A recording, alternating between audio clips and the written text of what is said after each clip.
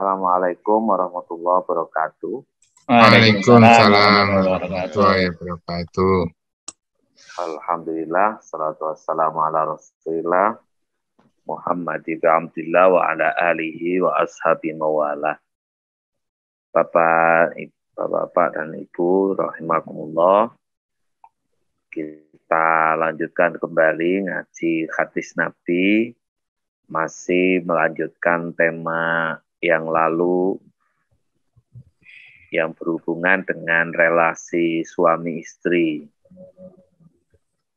Kali ini hadis-hadisnya sumbernya satu dari Sunan Turmudi, sehingga nanti bisa dicek. Ada banyak eh, riwayat terkait relasi suami istri ini hanya kita coba eh, sampaikan bertahap sehingga hari ini yang keempat dalam tema yang sama. Baik Bapak Ibu yang dirahmati Allah, hadis yang pertama dari Jabir bin Abdullah. Kulna ya Rasulullah inna kunna na'zilu faza'amatil yahudu annaha al-mau'udah sughra Jabir bin Abdullah pernah menyampaikan kami ceritakan kepada Rasulullah ya Rasul dulu kami itu melakukan azal azal itu uh, mengeluarkan sperma tapi tidak di tempatnya nah, alias di di luar itu, itu namanya kalau dalam bahasa populer itu senggama terputus. Nah, nah, tradisi itu menurut Yahudi dahulu adalah bagian dari mengubur anak. Nah, maka Rasulullah pun e, membantah itu dengan mengatakan kadzabatil yahud. Itu bohong itu innallaha idza arada ay yakhluqahu falam yamna'hu. Karena sungguhnya Allah jika berkehendak menjadikan makhluk ya maka terjadilah tidak ada yang dapat menghentikannya. Nah itu apa namanya alasan Rasulullah. Hadis berikutnya masih sama dari Jabir bin Abdullah. Kuna na'zilu wal Qur'anu yanzil. Kami melakukan azal sementara Quran waktu itu juga masih turun. Makna dari ungkapan ini perilaku tersebut tidak ditegur oleh Al-Quran, itu artinya bahwa sahabat-sahabat melakukan itu dan tidak ada masalah. Respon Nabi tadi juga tidak menghalangi azalnya, tetapi eh, cara pandang orang Yahudi yang menganggap supaya tidak jadi dengan cara azal itu eh, argumen yang keliru gitu. Nah, bahasa lainnya. Karena kalau Allah berkehendak itu ya sedikit pun atau pada saat bisa saja terjadi gitu. Oleh karena itu eh, kesimpulan dari soal azal ini sebenarnya ada kebolehan, tidak ada penghalang di sana, tidak ada persoalan ya, tapi juga pada saat yang sama meluruskan alasan azal itu. Jadi semata-mata bukan untuk uh, uh, menghentikan garis keturunan atau yang lain. Itu sebabnya di riwayat yang lain itu eh, Nabi sempat mempertanyakan itu an Abi Sa'id Dukirol azlu inda Rasulillah SAW Rasulullah pernah dimintai eh, pandangan ketika ngobrol itu tentang azl. Fakola maka Nabi pun berkata lima yaf'alu dzalika ahadukum. Kenapa kalian lakukan itu gitu loh. Nah, sehingga ada kesan uh, di sana ada ada pertimbangan apa kenapa harus melakukan senggama terputus itu. Nah, nanti kita akan lihat ada beberapa riwayat lain eh, nah Rasulullah SAW anil azli anil khurrati bighairi idniya. Sehingga di riwayat lain itu Nabi pernah melarang seseorang melakukan azl ini kepada perempuan apa namanya merdeka bahasa lainnya bukan budak. Karena kalau budak waktu itu boleh gitu. Jadi hanya disetujui tapi tanpa mengeluarkan sperma di dalam itu biasanya tapi kenapa ini kamu lakukan pada istrimu misalnya maka Nabi ya melarang illa biizniha kecuali atas izinnya. Ya. Makna di balik itu beberapa ulama berkomentar karena ini bagian dari hak e, pasangan ya untuk bisa menikmati itu. Nah, tapi kalau memang itu yang diharapkan ya tidak ada persoalan. Nah ini walaupun ceritanya agak sedikit anu ini ya eh, ke arah yang dalam. Lalu eh, hadis yang lain dari Anas bin Malik Qala lau siktu an akula Qala Rasulullah SAW Walakinnahu qala as-sunnatu Idza tazawwaja ar-rajulu al-bikra ala imra'atihi aqama indaha sab'an jadi Anas bin Malik berkata, kalau aku sanggup ngomong kepada Rasul, tapi beliau tidak sanggup ngomong terang-terangan kecuali beliau mengatakan as-sunnah. Nah, gitu. Idza tazawwaja rajulul bikra, jika seorang laki-laki menikahi gadis, maka eh, disunahkan main daha sabaan. Nah, dia istilahnya uh, ya ngumpuli istrinya yang gadis ini tujuh hari.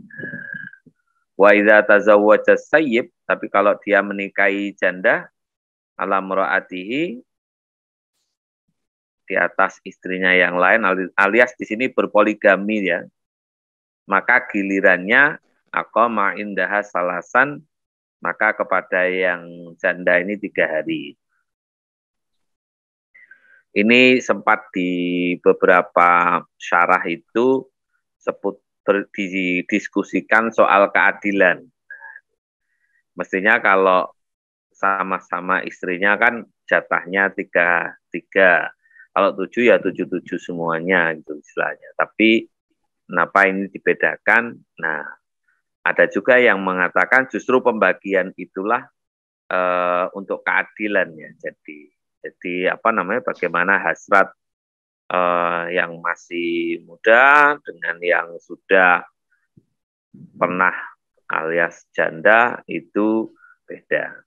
Nah, oleh karena itu uh, informasi-informasi seperti ini juga bisa kita didapati, bisa kita dapati dalam hadis-hadis tadi itu juga ada.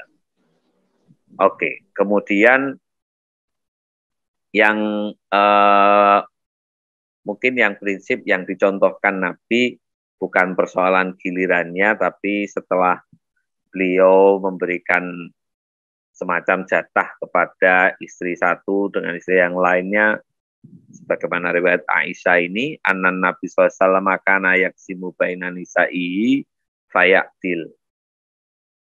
Nabi itu selalu membagi di antara istri-istrinya itu dan adil.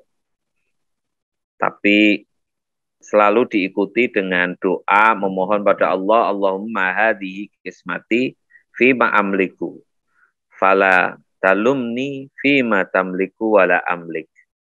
Ya Allah, ini caraku eh, cara aku membagi, cara aku berbuat adil kepada istri-istriku yang bisa aku lakukan atau yang aku mampu.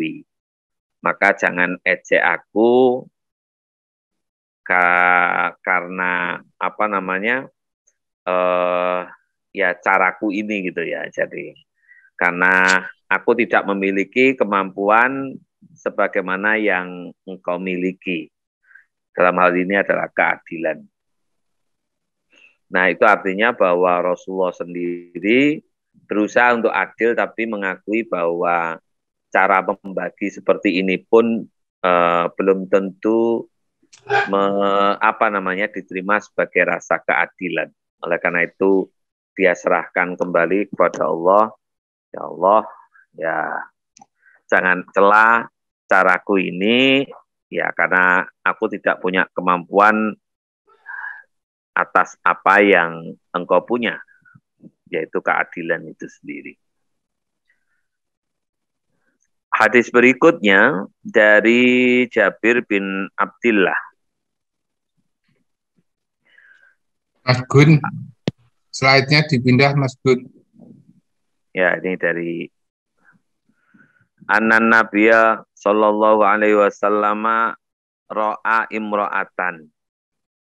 Dari Jabir bin Abdullah bahwa Mas Nabi sallallahu alaihi wasallam itu pernah memperhatikan perempuan. Maksudnya perempuan lain, bukan istrinya. Fadakhala ala Zainab faqadu hajatahu. Maka setelah lihat cewek di luar itu istilahnya Nabi masuk menemui istrinya Zainab dan menunaikan hajatnya. Maksudnya menyetubui Zainab. Wa kharaja wa qala dan setelah selesai beliau keluar innal mar'ata idza akbalat akbalat fi surati syaitanin. Nah, jadi perempuan itu kalau sudah kadung keluar dia menampilkan uh, penggoda. Nama istilah syaitan di sini bukan buruknya tapi goda, memberikan hasrat.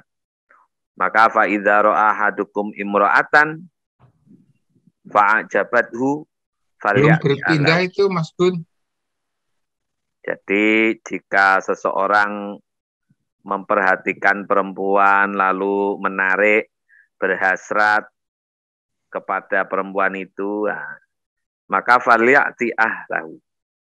Maka datangi saja atau temui istrinya. Fa inna ma'aha mislalladhi ma'aha. Karena apa yang ada di dia itu sama seperti yang dipunyai istrinya. Jadi podo lah. Nah, cara gampangannya ya. Nah, belum digeser dia. Belum belum digeser ya. Ha, Jadi hadis ini memberikan. Hadisnya belum geser Mas Gun.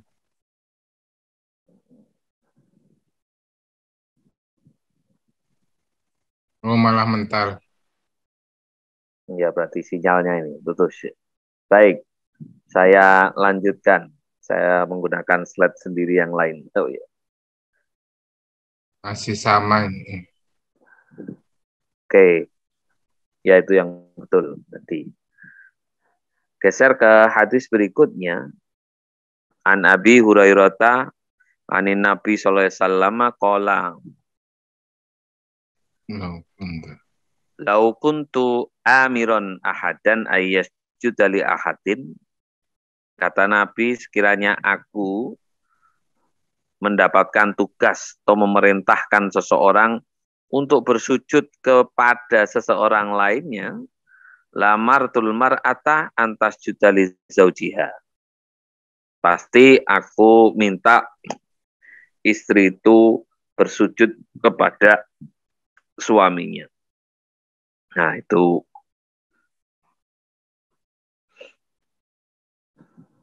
ini adalah cara Nabi membimbing uh, umatnya khususnya para perempuan untuk menjaga harmoni keluarga sebenarnya. Jadi uh, harus dibaca utuh terkait dengan uh, hak kewajiban suami istri secara menyeluruh sehingga tidak menjadi salah paham di dalam memahami hadis ini. Ya. Ini kalau salah paham kemudian hanya hadis ini mengabaikan hadis-hadis yang lain, maka lelaki juga bisa arogan, nah, kemudian eh, istrinya dituntut sedemikian rupa eh, seperti eh, apa namanya ya harus mendewakan dan eh, ya berlebihan istilahnya.